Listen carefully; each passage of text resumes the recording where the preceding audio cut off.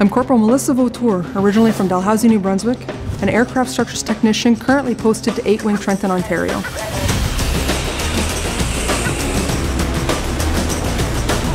Aircraft Structures Technicians, or ACS techs for short, are responsible for the repair, maintenance, and reconstruction of all the outer surfaces and interior structural components of Royal Canadian Air Force aircraft. If it's part of an aircraft's wings, fuselage, nose, tail, or frame, it's the job of ACS techs to keep it in mission ready condition.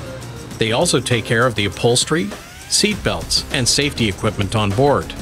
As part of the air maintenance team, ACS techs work alongside avionics systems technicians, aviation systems technicians, and air weapon systems technicians to make sure that every aircraft takes off with the ability to carry out its mission and the firepower to back it up.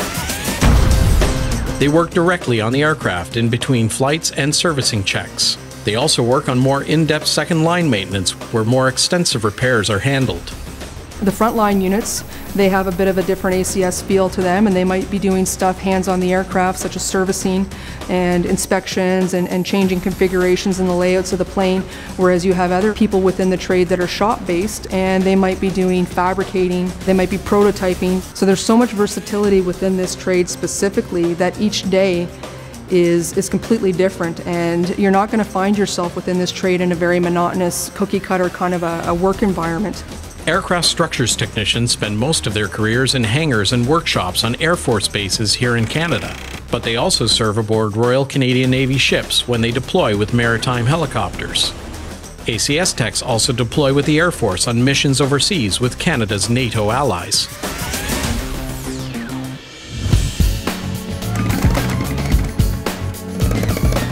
I've had the opportunity to work on some projects that aren't your typical normal projects.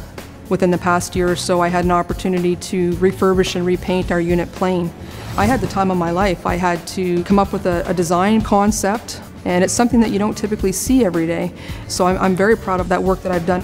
This trade specifically allows you to be creative, right? You're only limited by your imagination within this trade.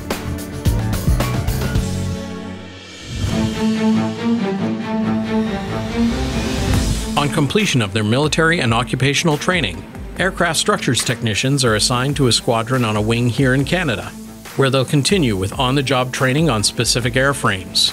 If you're on the flight line, you're going to get training specific to the fleet that you'll be working on, in addition to honing up on more of your ACS skills. If you go into a more of a shop environment, usually what happens is you're going to go on a rotational basis to the different shops for the key elements of the ACS trade. ACS techs have welding skills, advanced machining skills, sheet metal skills. They take care of painting, composite repair, and media blasting, and they deal extensively with aircraft fasteners. Not every part of the trade appeals to everybody, that's, that's a given.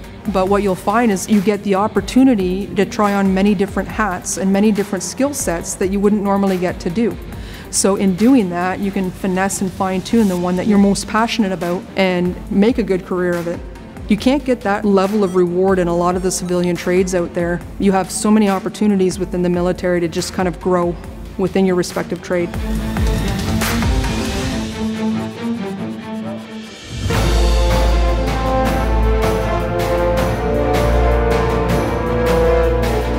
When I was able to get into the ACS trade and I was able to kind of get my hands on some of those technician skills that weren't available to me before, it was just mind blowing. I was able to build, to fabricate, to do all of these types of things, and I wasn't necessarily limited to sitting behind a computer screen in a more historical female role. We're seeing more women in the trade, and we're seeing more women in non traditional roles, which is amazing and awesome.